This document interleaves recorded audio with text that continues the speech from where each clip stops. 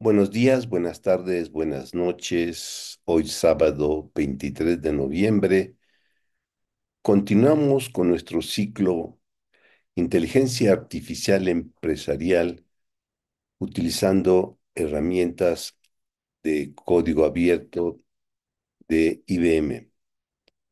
Hoy vamos a continuar con nuestro ciclo utilizando nuestro modelo WebTera for AI para la inteligencia artificial, que es un modelo que permite preparar los datos con herramientas de Big Data como Spark en el contexto de su forma de guardar archivos, es decir, solamente usamos Parquet, usamos PRO y otras herramientas como DuckDB, cuando ya generamos los datos de manera, eh, esto, eh, eh, de manera empresarial, utilizando las herramientas de mm, los grandes proveedores estables. En este contexto, hoy vamos a usar una herramienta que es esencial, estratégica.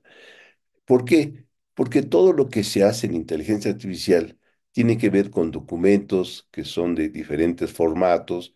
Pongamos eh, eh, la lista sencilla, documentos PDF generados electrónicamente, documentos PDF escaneados, archivos PDF eh, que son a veces motivo de un, un, documento papel que viene mm, por los grandes procesos que se tienen y se escanea y se genera en formato PDF, son los formatos escaneados. Tenemos también la parte de PowerPoint, de Word, de otros muchos, y también documentos que son documentos de audio y de video. Todo esto es lo que vamos a, a trabajar para ofrecer estructuras. Para llevar a cabo este proceso, vamos a usar una herramienta de este proveedor IBM que se llama Docklin. Es reciente y es muy útil y hace lo que necesitamos hacer, que es extracción del contenido. En el caso presente, vamos a utilizar el contenido de unos archivos PDF sencillos, pero que tienen bastante estructura y son complicados, dos columnas, etc. Y aquí lo que vamos a tratar de ofrecer es la importancia de la inteligencia artificial empresarial. ¿Y por qué? Porque este proveedor IBM ha hecho en fechas recientes estudios y, hizo una entrevista a dos, casi 2.350 profesionales, un poquito menos, y profesionales de empresas que tienen más de mil empleos en diferentes países, ¿no? Ahí está la lista, México, Colombia, Chile, Argentina, Perú, Brasil, Estados Unidos, varios, Corea, España, etc. Y en estas entrevistas preguntaron cuáles son las principales aplicaciones que desean realizar o que están realizando. Y esto nos lleva a decir que cuáles son los campos de aplicación de la inteligencia artificial empresarial.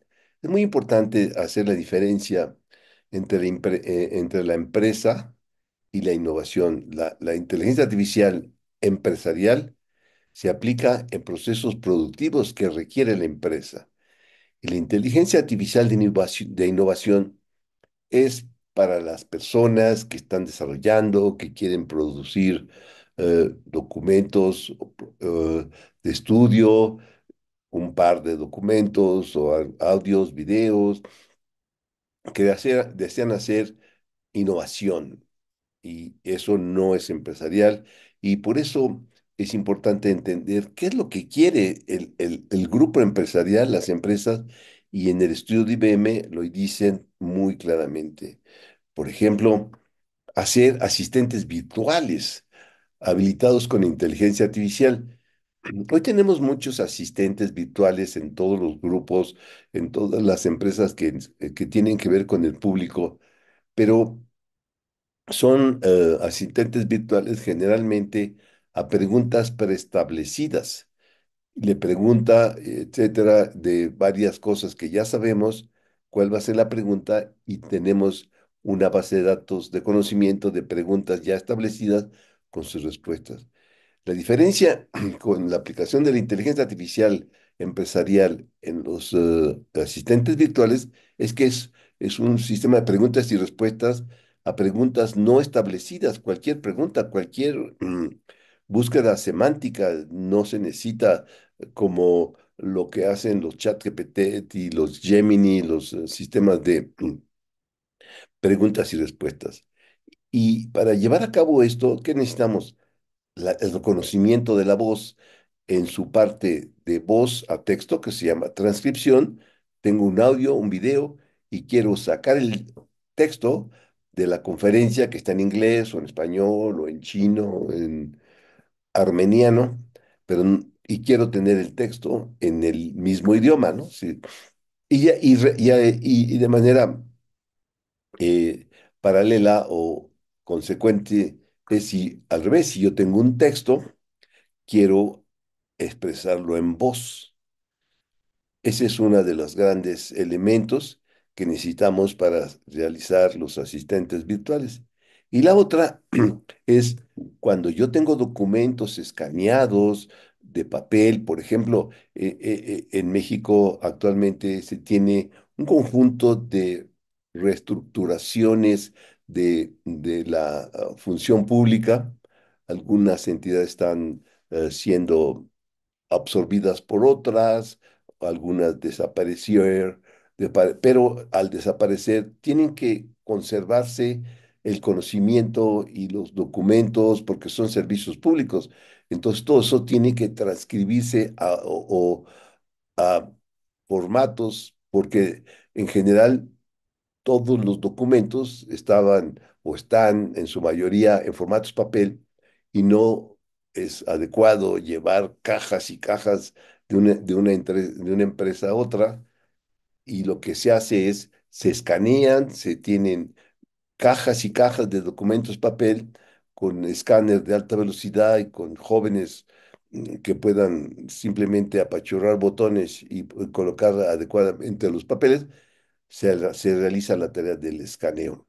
Pero que vamos a tener, vamos a tener cientos, cientos de miles o hasta millones de documentos PDF, de que es todo el conocimiento que una empresa o un proceso productivo tiene y necesitamos eh, trabajarlo, sacar qué es lo que trae cada documento dentro.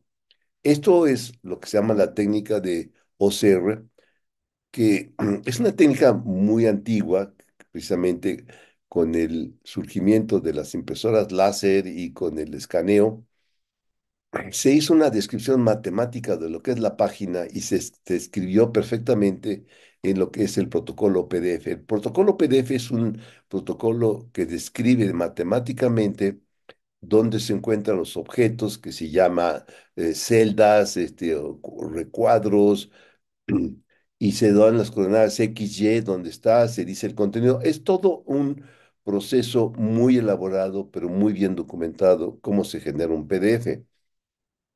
Entonces, ¿qué es lo que se hace ahora con estas nuevas técnicas? Se eh, lee la estructura y se re- rehace el pedazo de texto, el pedazo que viene en una imagen y se guarda en sus componentes y eso es lo que hacen los lectores de OCR. Hay muchos ya, uno muy famoso que es el que más utilizamos en la tecnología de OCR de inteligencia artificial, se llama Tesseract esta es una herramienta que compró Google después de que un grupo lo hizo y eso es eh, de, ahora pertenece a Google y por eso Google tiene una gran ventaja porque eh, siendo los dueños de Tesseract pueden hacer sistemas de reconocimiento de caracteres muy profesionales como el Document AI, que es un servicio que cobran.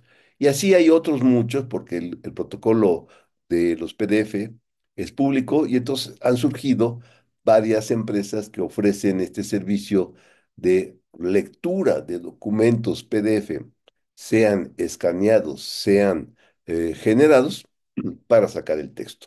Es una de las cosas más importantes y es precisamente lo que hace esta herramienta de IBM que se llama Docklin, que permite precisamente sacar el texto de documentos PDF, sean generados, sean escaneados. ¿Y por qué es tan importante todo esto? Pues porque en los procesos de digitalización de los trámites para poder recibir, por ejemplo, una institución de salud muy conocida que ahora tiene que generar otra entidad, que es una entidad que tiene servicios similares, pero tiene que recibir muchos documentos eh, para poder dar servicios, pero tiene un conjunto de anaqueles llenos de documentos, papel, pues tiene que escanear todo, pero una vez que lo escanea y tiene miles de millones o cientos de miles de archivos PDF, necesitamos gobernarlos, sacar bases de datos, pero que seguiría entender los documentos con inteligencia artificial. Y eso es precisamente cómo extraer texto de un documento generado, de un escaneado, de Word, de, de Excel, de, de lo que quieran. O cómo sacar el texto, en caso dado de una imagen, que se encuentra dentro de la imagen. Y estos son los grandes temas que todo sistema de inteligencia artificial necesita, porque la inteligencia artificial maneja los textos, pero no tiene la herramienta por sí misma para sacar los textos. La herramienta de inteligencia artificial sale modelos, hay modelos, hay metodologías como RAC y agentes, pero todo supone que alguien ya le dio el texto que está dentro del objeto de estudio. Y es por eso tan importante esta herramienta, que hay otras muchas que ya se tienen y servicios como comentaba el Google Document ahí.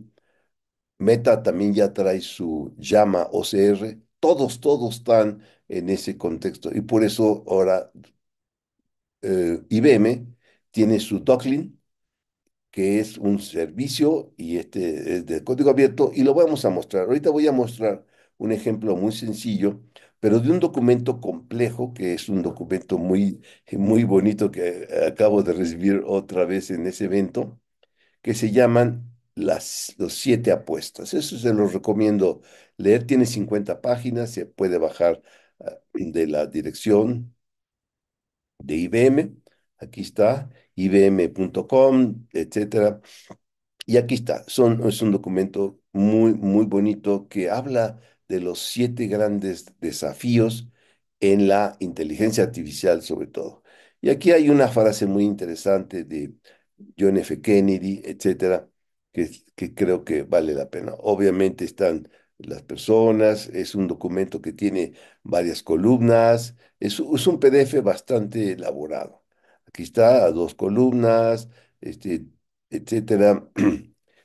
Como ven, es un documento PDF muy completo y muy estructurado. Entonces, sacar el, el, mm, el, texto de este documento no es cosa sencilla, como lo van y lo pueden constatar los que se dediquen a la inteligencia artificial. Usar esto con Tesseract sin herramientas es muy complicado solamente que lo puedan poner, por ejemplo, en Document AI, pues sí lo saca, pero les va a costar cada página poquito, pero son muchas y esto pues siempre depender de, terceros no es adecuado cuando se hacen soluciones empresariales. Entonces aquí está el texto, 50 páginas, etcétera. Entonces yo agarré el texto y como les digo, es muy sencillo este, esta aplicación. Aquí le digo dónde está mi archivo origen, que es este, la liga, el URL, con una, con una, una función muy sencilla, que aquí está, que es, y no estoy eh, haciendo nada extraordinario, simplemente, y es lo que quiero que todo el mundo recuerde, la inteligencia artificial empresarial, las soluciones empresariales No son innovaciones ni ocurrencias. Debe realizarse con códigos estables, conocidos, porque lo empresarial debe ser conocido y estable para poder dar servicios con mayor fiabilidad. Entonces, no es un secreto, es una herramienta de Google, la OpenAI, pero esta es la parte que tiene IBM para extraer contenido de PDFs.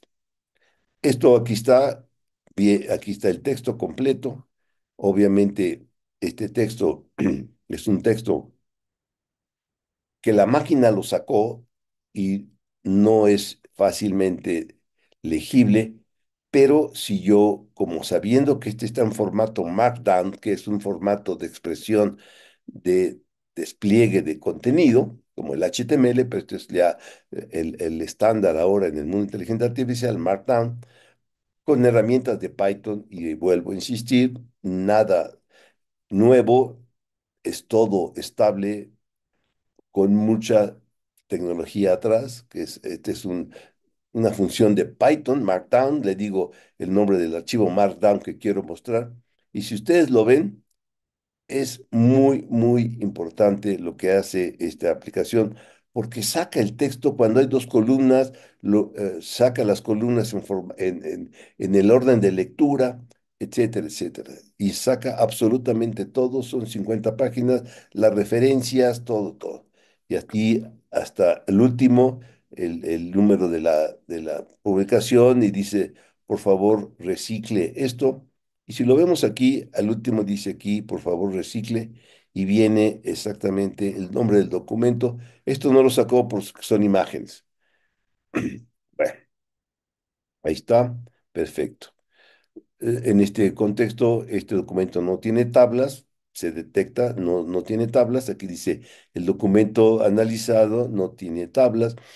Y, y, esto lo podemos hacer para muchos tipos de documentos, como la documentación oficial lo dice, en PDF, en, doc, eh, en archivos Office, general en Office, cualquier archivo Office, y también en HTML, y lo hace, pero también hace otra cosa muy importante, que la estructura de salida puede ser un JSON o puede ser un Markdown, y también tiene herramientas que vamos a dar en otros talleres, cómo prepararlo para inteligencia artificial, para hacer los pedazos semánticos, los pedazos de chunking y poder hacer eh, liga con Llama Index o con LangChain, que son productos para o herramientas, etcétera, para poder integrarlo en el mundo de inteligencia artificial.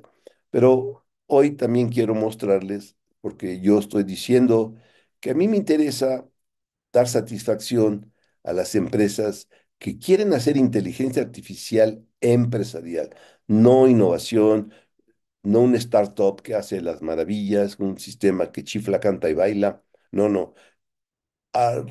inteligencia artificial empresarial. ¿Y qué es lo que están pidiendo las empresas? Pues hay que darle lo que piden, no, no hacer un, un desarrollo de una maravilla que no necesitan. ¿Qué están pidiendo? Asistentes virtuales bajo una premisa de que eso debe estar realizado con inteligencia artificial. Y para poder hacerlo, tengo que ver, leer y ver, leer y ver los elementos, por ejemplo, un audio, tengo que ser capaz de hacerlo a texto y dado un texto, tengo que ser capaz de hacer el audio y una vez que tengo el texto, poder analizarlo con tecnología. Entonces aquí ya podemos sacar si tuviéramos un PDF o un texto con esta herramienta, sacarlo. Pero ¿qué tal si tenemos un audio o tenemos un, porque quiero hacer un chat? El audio es cuando la persona dice al, al, al asistente virtual, le habla, y eso que está hablando la persona al asistente virtual debe transcribirse a texto. Entonces tenemos que ser capaces de transcribir a texto y una vez que tenemos el texto podemos hacer el LLM uso, un rack o lo que quieran, sale la respuesta a un, un, un, sistema de búsqueda semántica o un preguntas y respuestas, sale un texto, pero necesitamos después traducir ese texto a voz.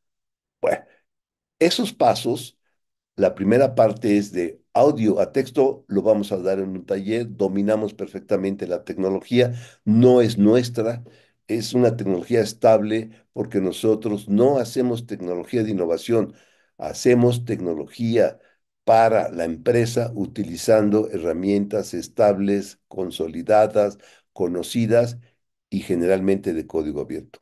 Aquí me voy a permitir eh, pro- eh, proponerles que escuchen este video, este audio de YouTube, que aquí está la, la de esa, y You este know lo, how it is. You love to learn new things, but you also got to, you know, be mindful of your time. Yeah. And then when something like generative AI comes along, it's just, it's impossible to keep up. Totally. It really is. You know, figure out like what's real, what's hype. Right. bueno, este audio es un audio de, un, de, un, de YouTube que se los recomiendo. En 15 seg- minutos hace una perfecta explicación.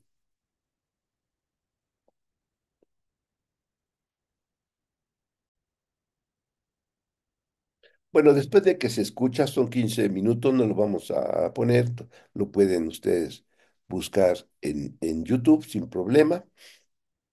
Entonces, ¿qué es lo que le estoy diciendo que tenemos que hacer? Pues este audio que está aquí, o este video que es importante, lo podemos bajar, obtener con herramientas Python sin problema. Y aquí medimos cuánto, cuánto pesa, 928 segundos, 15 minutos con 28 segundos, pero también obtuvimos el, directamente con herramientas Python el video y lo bajamos y lo guardamos en un archivo local en MP4. Aquí está en nuestra máquina, user, saxa, documentos, etcétera. Aquí lo guardé y después ya que lo guardé, pude con otra herramienta adecuada que es de código abierto, que vamos a compartirlo a todos los que tomemos el curso, eh, no en la primera sesión, que va a ser el 11, sino en la siguiente, en el mes de enero, vamos a enseñarles cómo transcribir con herramientas los audios que están en YouTube o cualquier audio. Me dirán, ¿eso lo hace automáticamente YouTube? Sí, pero si yo tengo todas las sesiones de consejo, todos los elementos de audio, de transmisión de conocimiento, de un proceso productivo eh, para mis trabajadores, no voy a tener, no voy a poder subirlo y después estar copiando cada una de las transcripciones, porque pues eh, eh, al ponerlo en YouTube es mm, fácilmente em, copiable. Entonces, por eso es mejor hacerlo en local y eso es lo que es una informática de inteligencia artificial empresarial. Entonces ya lo tengo en mi máquina eh, y aquí tengo, y después usando una herramienta de transcripción que digo que es empresarial, de código abierto, estable y además es eh, fácilmente configurable, hice la traducción, al- la transcripción a texto y aquí está la transcripción completa porque está muy interesante lo que dicen estos dos eh, personajes, que, lo que los que sabemos esto fue realizado de forma automatizada. Por ejemplo, esto se puede hacer así tal cual como lo hicieron con una herramienta de Google que se llama eh, mm, mm, Notebook LM. Esto, esto, esto lo hace Notebook LM. Hace un podcast con un video que yo le subo. En fin, entonces todo esto es para mostrar el camino hacia una inteligencia empresarial, una inteligencia artificial empresarial, y así vamos a continuar en nuestros talleres, pero ahora quería simplemente mostrar la primera pieza de rompecabezas es cómo de documentos en general de lo que tiene cualquier empresa, PDFs, Doc, PTPT o todo lo que es el Office, Exceles, audios, poder sacar el texto. Y así vamos a seguir en nuestros eh, elementos y esto es todo por hoy y ahora seguiremos en nuestras grabaciones.